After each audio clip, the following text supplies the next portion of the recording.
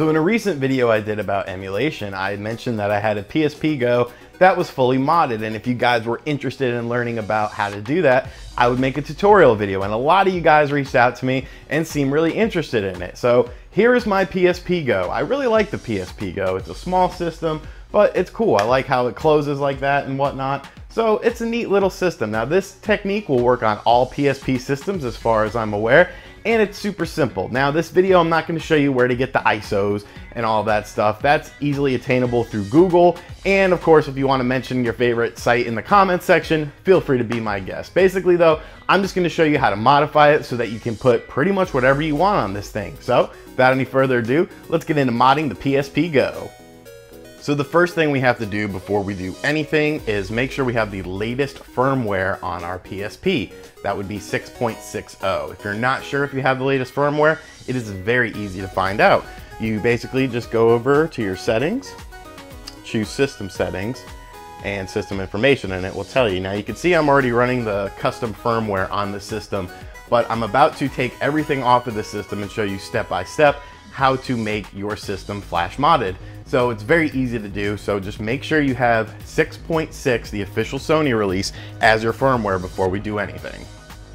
So if you need the original firmware, this is a site you can go to. Uh, it's very easy to do. You just put it in the update. It'll create an update folder for whatever system you have and it you can just update it from the system settings but I already had that system so basically what we're gonna do here is we're gonna go to this website as you can see in the top corner I will put a link in the description box below to it this is where we get the custom firmware so it's just kind of showing you the different options it has. Um, we're going to get the one off of MediaFire here because that's the latest one. It runs all of the um, PS1 games with no problem and that's my primary function with this PSP Go.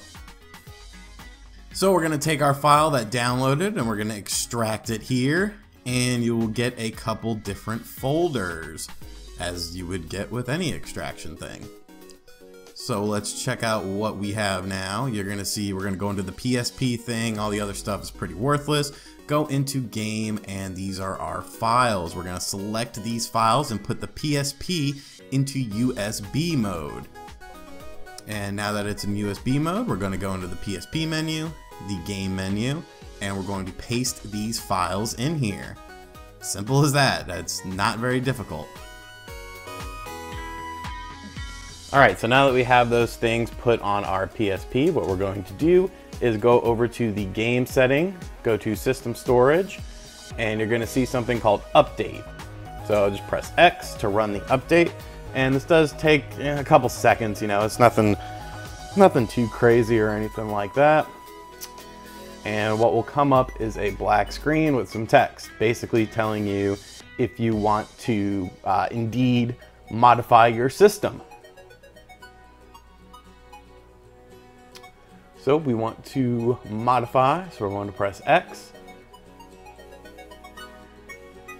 And now we'll press X again and the system will reboot.